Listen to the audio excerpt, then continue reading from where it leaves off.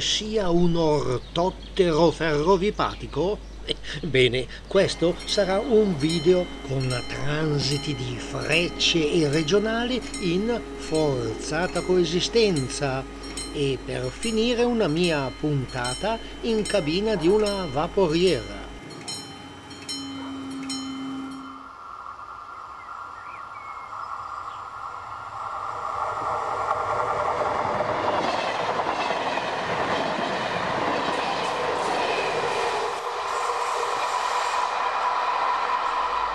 Regionali con ALE 582 e LE 562 o Loco e 464 e carrozze Casaralta tipo 1979 a due piani su questa linea un cincinino da troppi anni senza attenzioni che unisce con 49 km Bergamo a Brescia.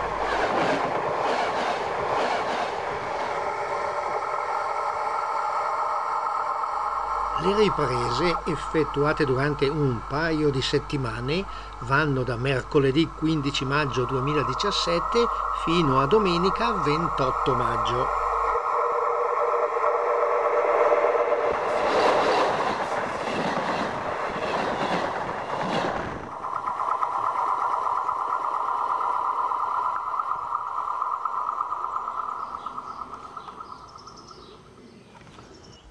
una dovuta sviolinata.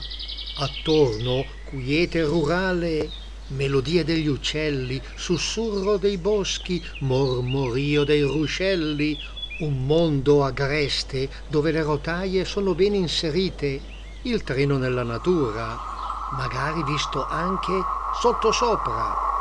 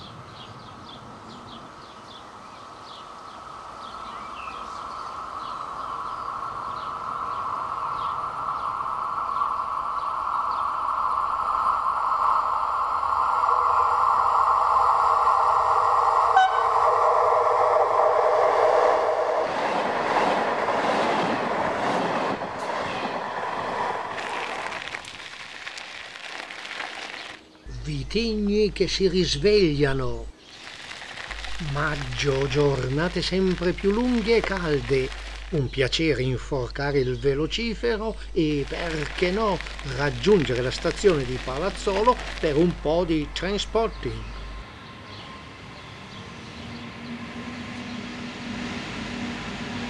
In attesa degli spaesati ETR, cerco coi regionali di rendere più il treno inserito nell'ambiente piuttosto che citare noiosi orari, numeri dei treni e dati tecnici vari.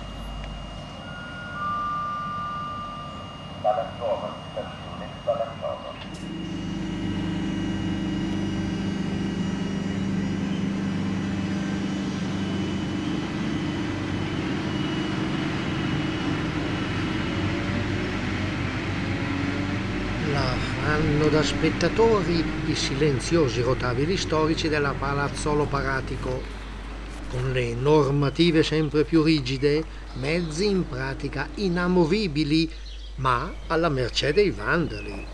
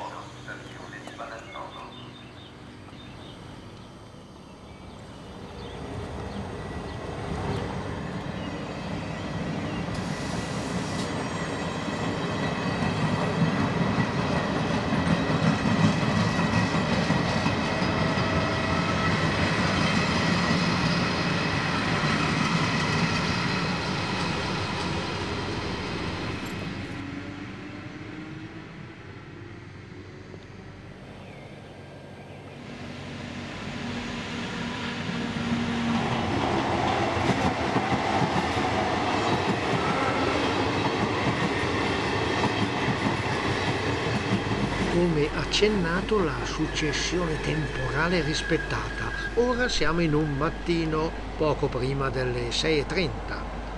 Dopo le Casaralta per Bergamo arriverà l'ETR 600, il Frecciargento 8505 Bergamo-Roma e farà sosta per un incrocio. La Bergamo-Brescia, nata a doppio binario nel 1854 come tratta della Ferdinandea, oggi è a binario unico.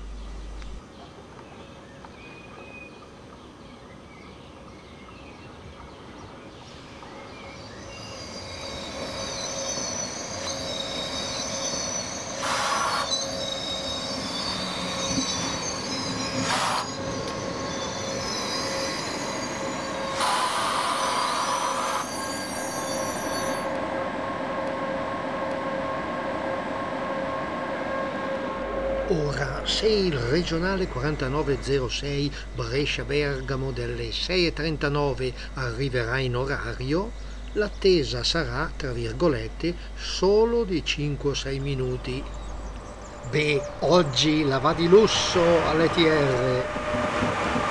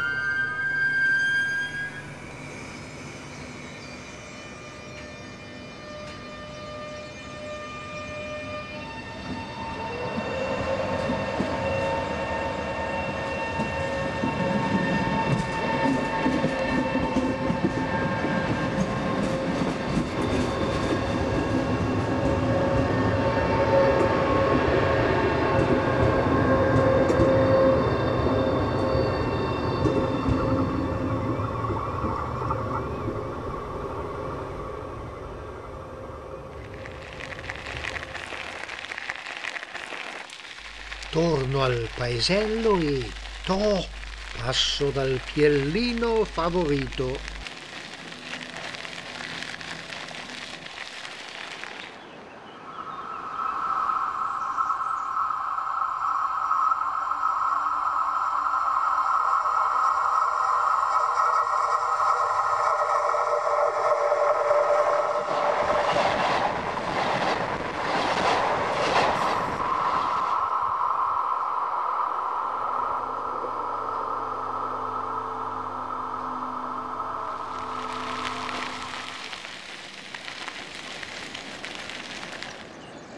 domenica, gioco in casa.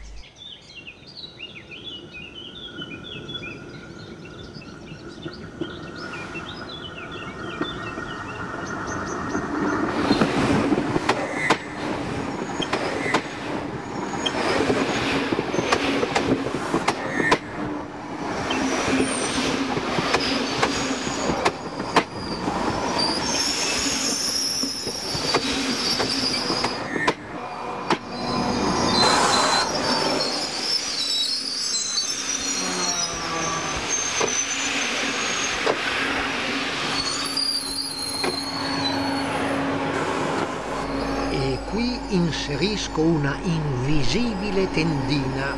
Sette buoni minuti d'attesa per l'incrocio col 4904 Brescia-Bergamo. Poi il Frecciargento 8505 riparte per Roma via Verona-Bologna. L'orario prevede l'arrivo nell'urbe dopo 4 ore e 33 minuti di viaggio dalla partenza a Bergamo.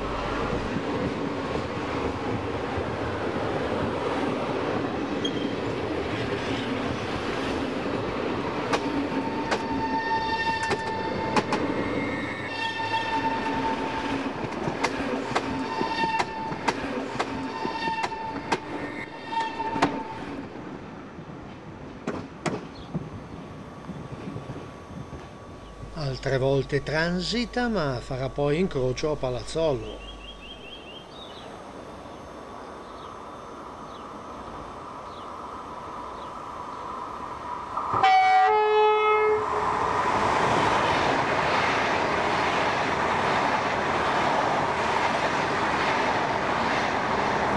Così mi spaventa i topolini.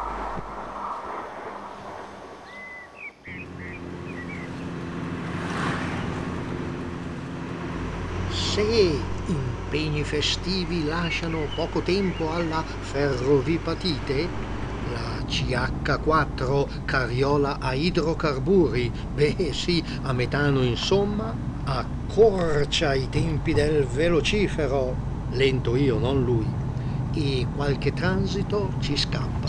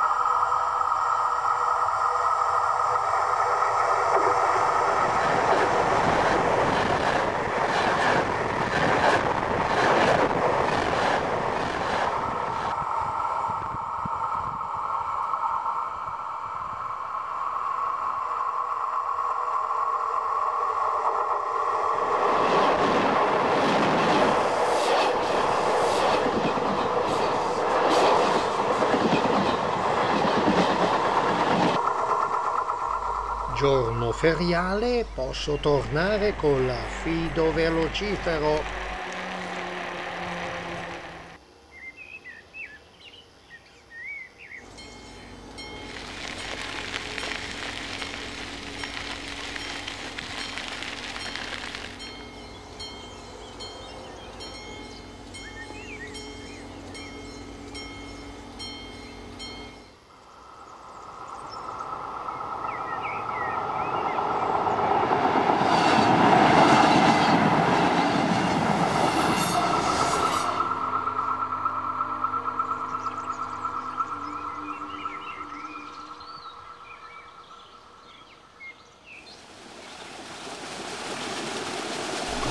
Esiste di più duro di una pietra e di più molle dell'acqua?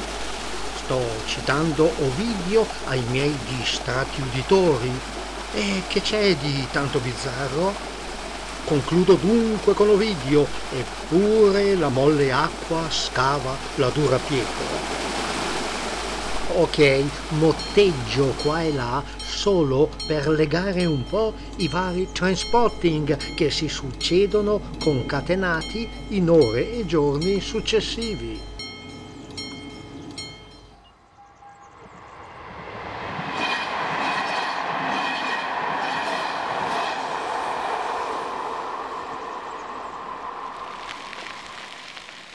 pigiando sui pedali verso Mavà Palazzolo, strada facendo un PL a Cividino.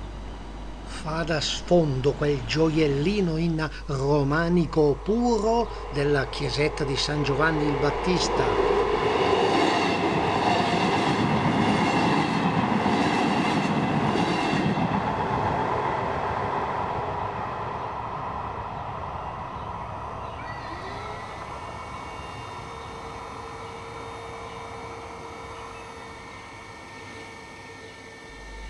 un'occhiata più da vicino del XII secolo su una preesistente chiesetta cimiteriale con piccola necropoli.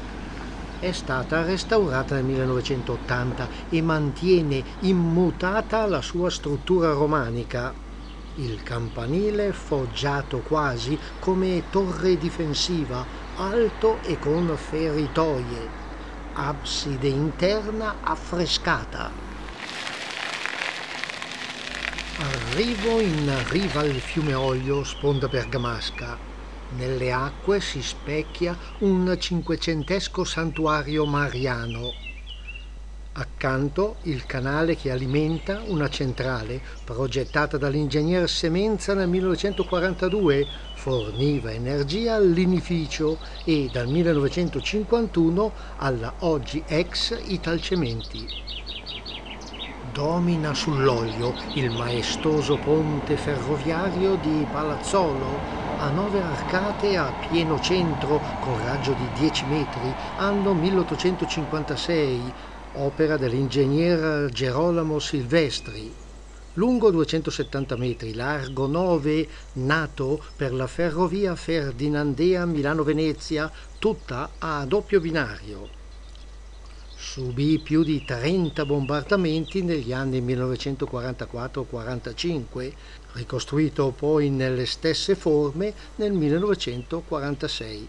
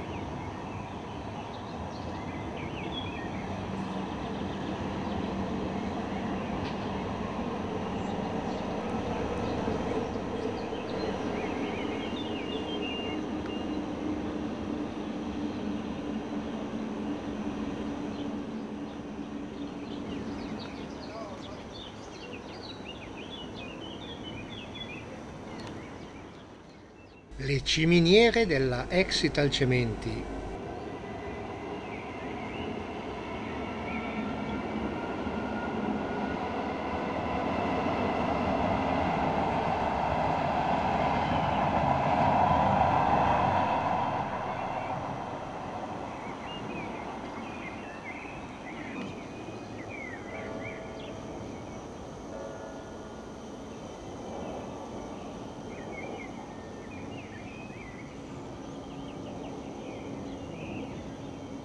È tempo di passare da sotto a sopra il ponte.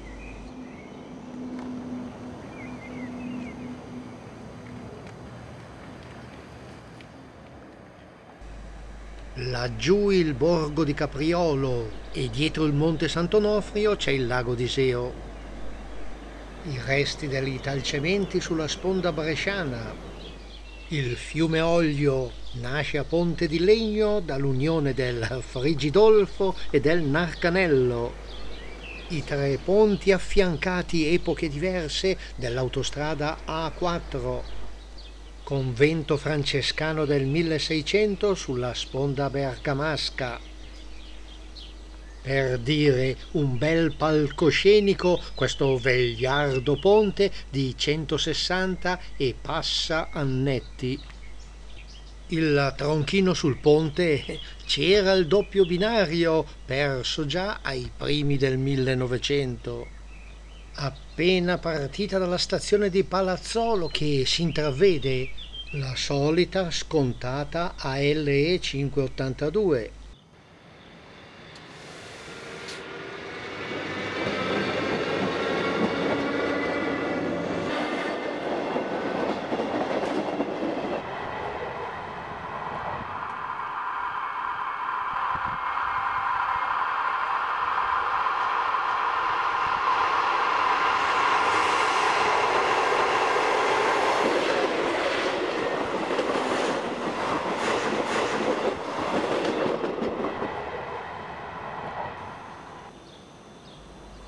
tutto senza fretta, a velocità di SCMT, sistema controllo marcia treni.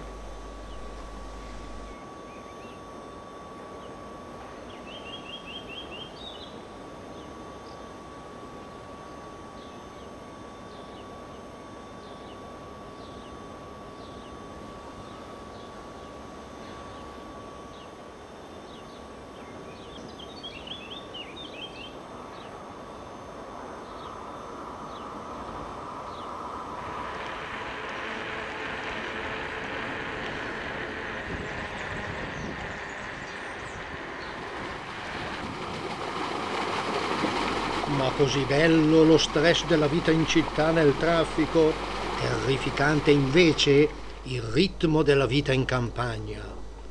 Eh già, tutti vorrebbero tornare alla natura, via dalla folla, ma nessuno che ci vuole andare a piedi.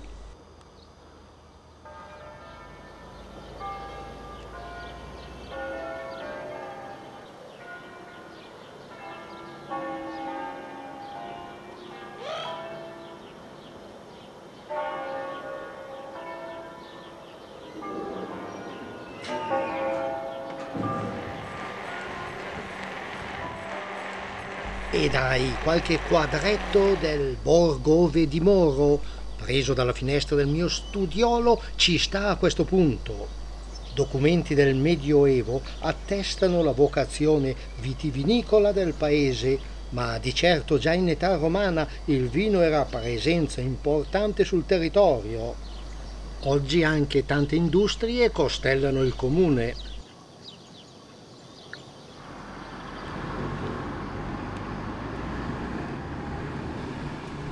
Ineludibile una blitz serale in stazione.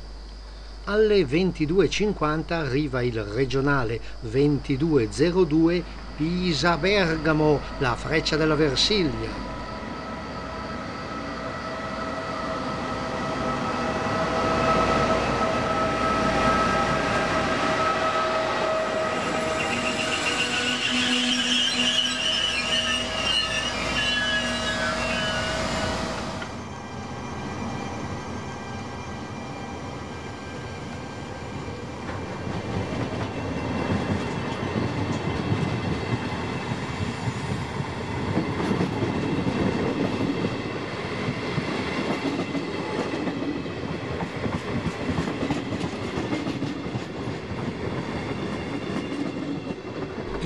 Frecciargento 8528 Roma-Bergamo segue forzatamente a distanza di tratta, visto che non fa fermate.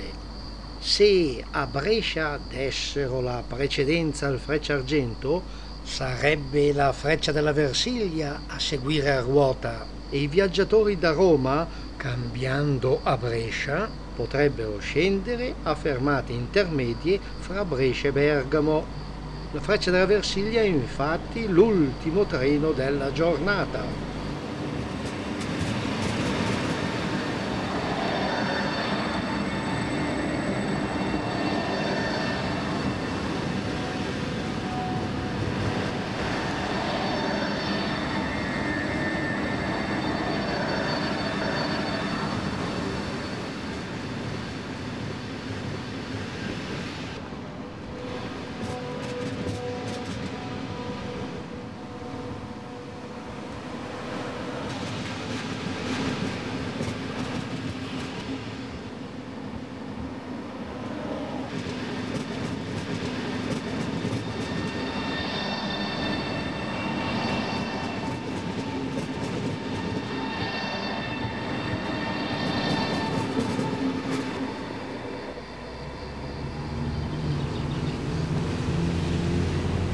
Rivediamo le star.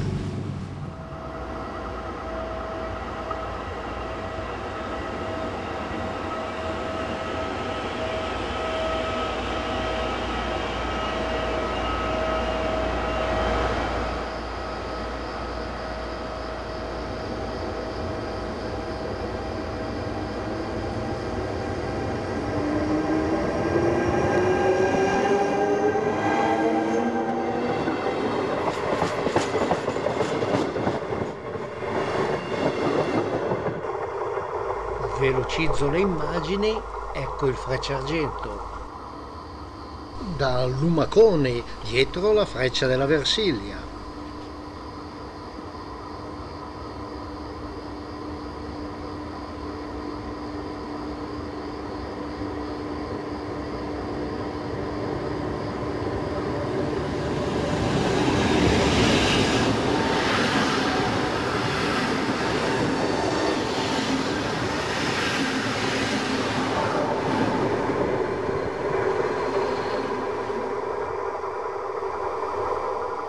Con un po' più di luce e l'ETR 600 che va in deviata sul primo ad attendere l'incrocio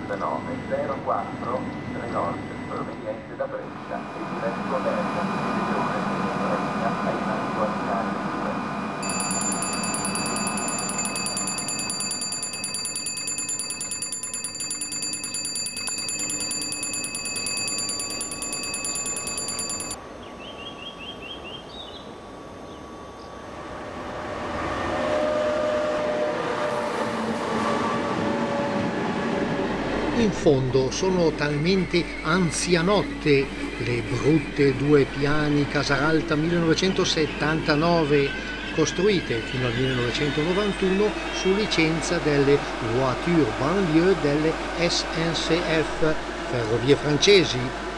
Meritano le immagini prima che scompaiano.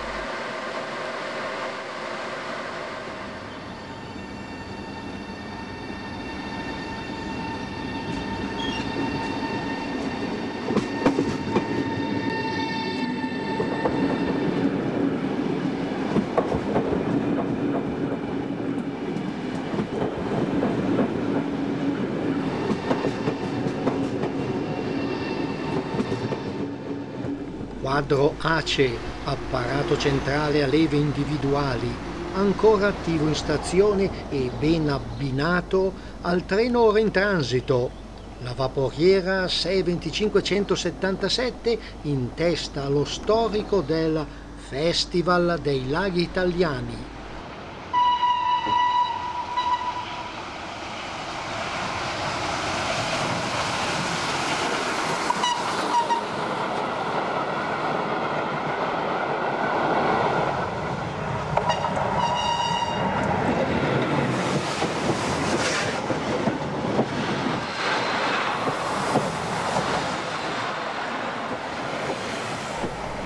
solo cavalli vapore oggi, domenica 28 maggio 2017. Nella piazza del borgo un raduno di decine di migliaia di ruggenti cavalli d'altro tipo, quelli del classico appuntamento Ferrari Day, organizzato dal Lions Club Valcalepio Valcavallina e dal Ferrari Club di Caprino Bergamasco.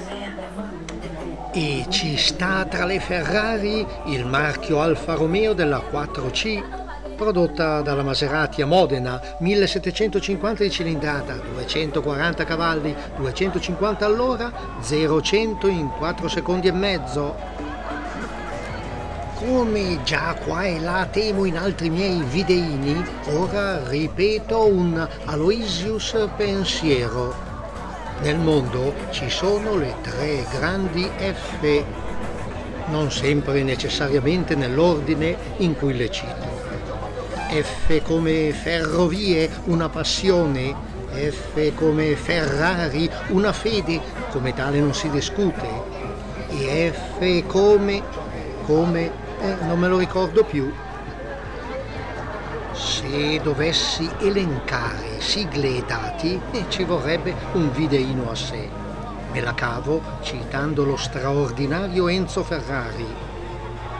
Quando le mie macchine vincono solcando il traguardo, mi assale un grande orgoglio di essere italiano. Non si può descrivere la passione, la si può solo vivere e quando l'uomo ha mete da raggiungere non può invecchiare. Medito queste riflessioni, bello comodo al tavolino del mio solito bar. Dove hai parcheggiato? In mezzo.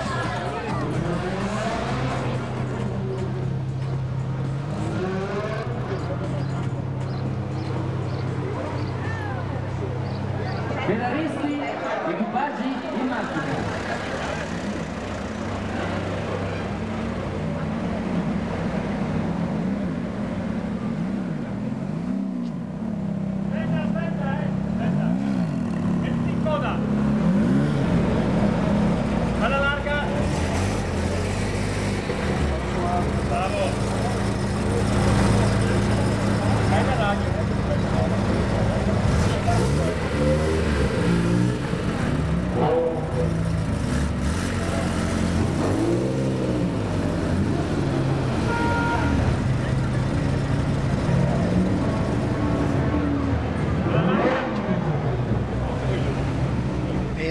inciso oggi 28 maggio 2017 si disputerà il prestigioso Gran Premio di Monte Carlo che finirà come una favola.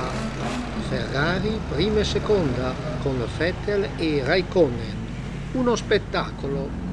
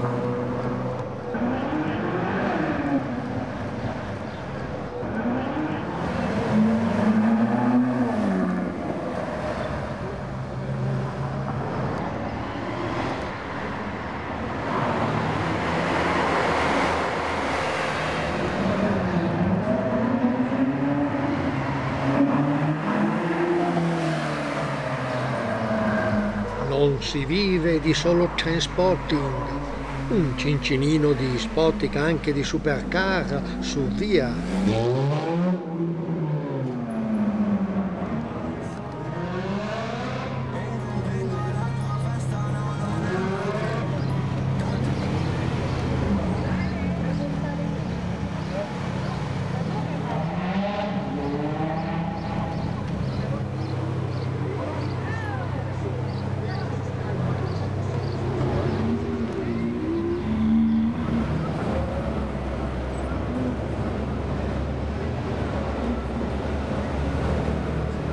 Temo non sia opportuno che pure io percorra il viale con la mia, seppur rossa, carriola CH4 a metano, ma posso benissimo andare al capolinea di Paratico dei 10 km della ferrovia Palazzolo Paratico.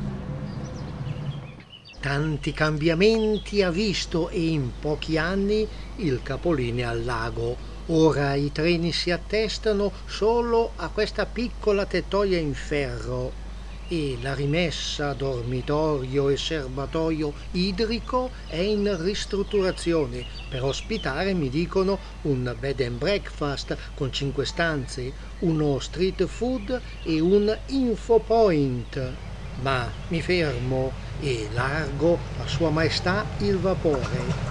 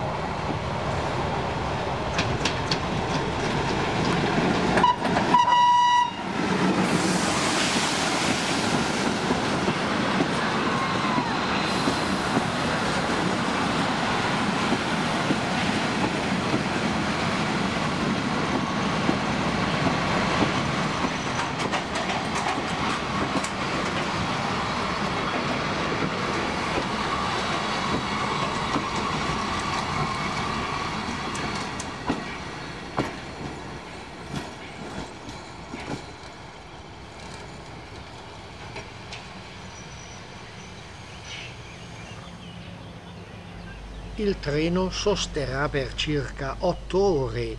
I viaggiatori hanno raggiunto un battello riservato e navigano sul lago d'Iseo verso Clusane e poi Iseo.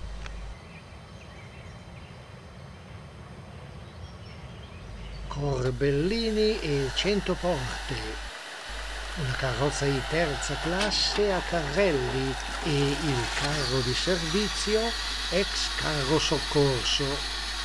Lei, vaporiera ricevuta come risarcimento dei danni di guerra, costruzione Schwarzkopf, Berlino, anno 1922 accudita da Francesco, giovane muso nero maestro del vapore. Molto belli i video che mi hai dato la settimana scorsa, questo mi hai fatto. Ti ringrazio, guarda, mi fa piacere. No, no, sono sempre apprezzati. Adesso appena riesco a scaricarmeli a casa, che faccio una copia, gli poi gli giro al tuo. Sì, da anni straordinario onore per me passare i videini agli amici musineri.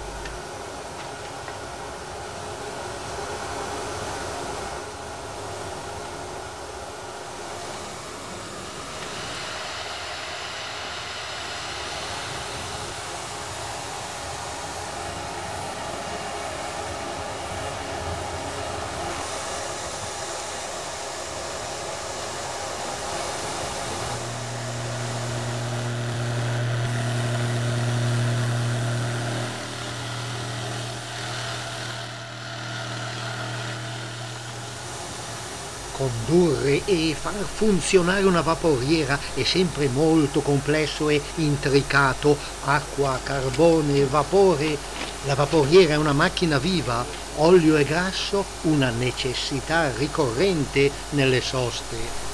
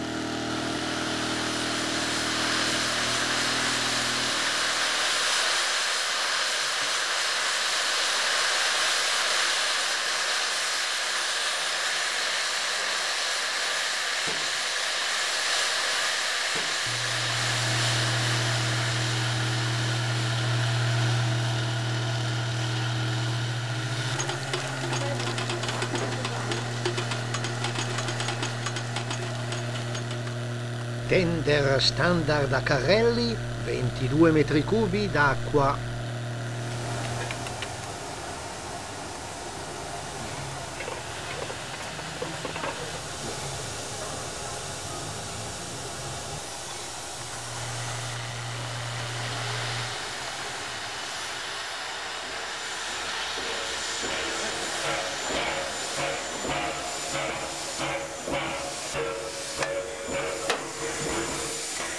In cabina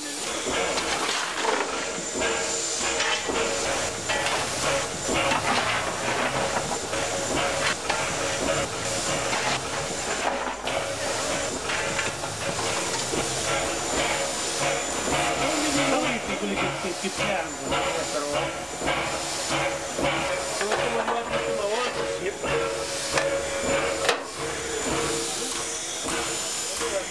Alla fine come ogni star che si rispetti, lui, Arturo, il maestro.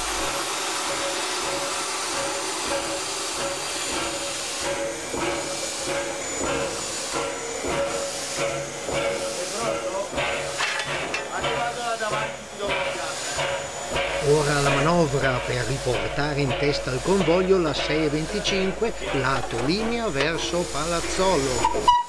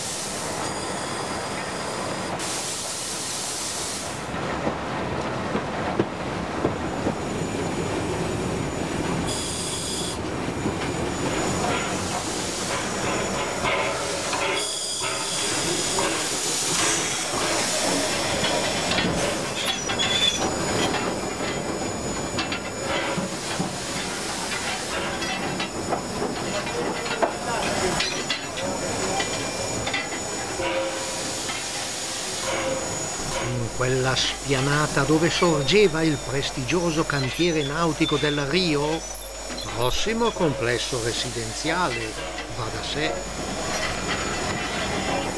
Superato il deviatoio di uscita, inversione di marcia ad agganciare le carrozze.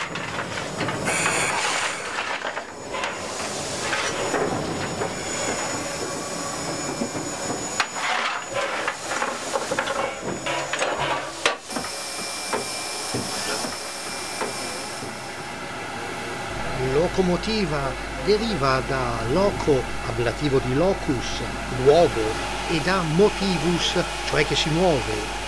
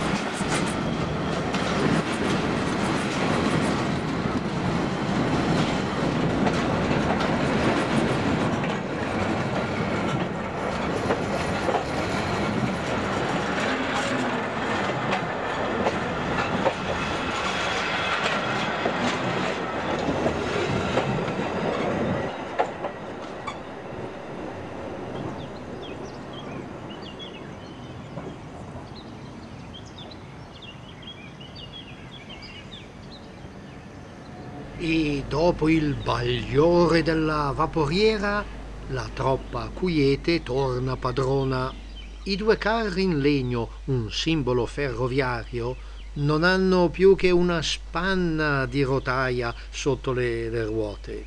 Ma eccolo il ma che c'è sempre, di fronte c'è una piccola meraviglia di 10.000 metri quadrati, zona selvaggia e unica nel suo genere, il bosco dei Tassodi, flora e fauna annesse, più di 300 grandi piante acquatiche alte oltre 20 metri, provenienti a fine Ottocento dalla Florida, un luogo incantato dove nidificano indisturbati gli uccelli, aironi cinerini in primis.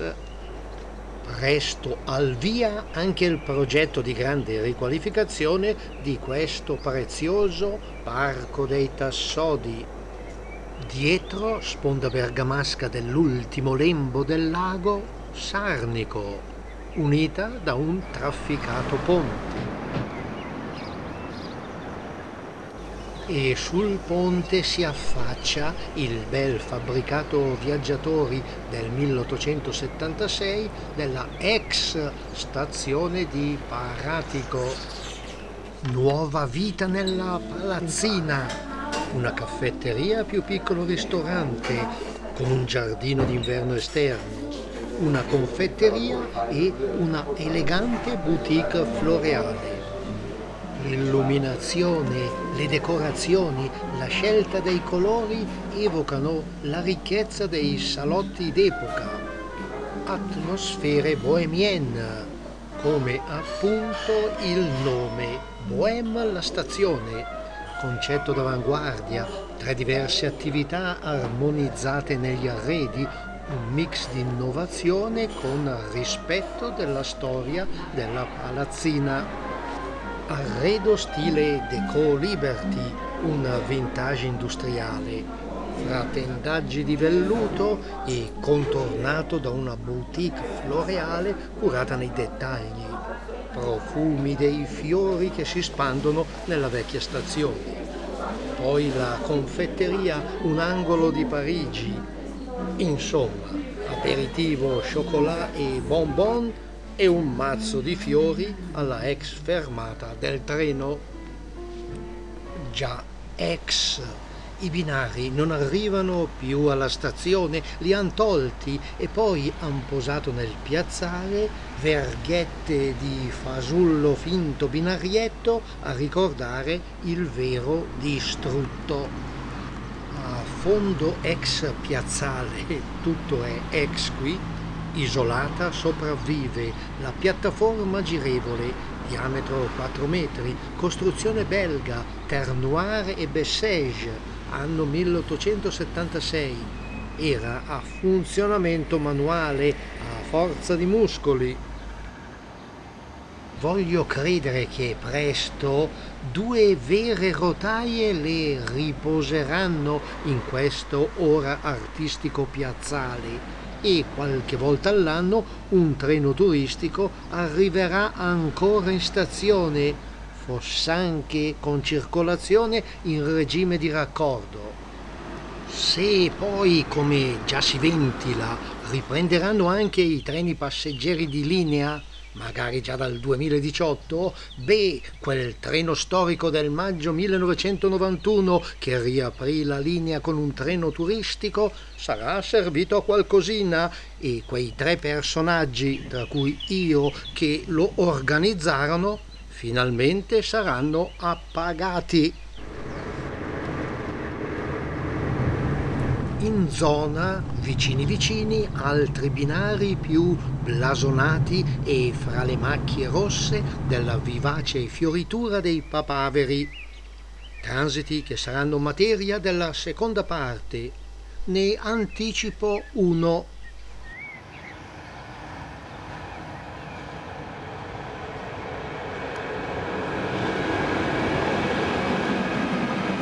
il re dei treni, il treno dei re, l'Orient Express, da Paris Gare de l'Est a Istanbul fu creato nel 1883. Ora il suo nome è Venice Simplon Orient Express. E le 16 prestigiose carrozze stanno percorrendo due giorni, una notte, la tratta Parigi-Venezia via Milano quota per persona in suite a due letti circa 2200 euro extra esclusi. C'è l'Oriente Express e c'è la numero 1. Ebbene sì, questa confezioncella in scatola Riva Rossi RR anno 1961 che mi costò ben 2250 lire e tante merendine in meno a scuola, fu il mio primo trenino. Alla prossima puntata e ne vedremo delle belle.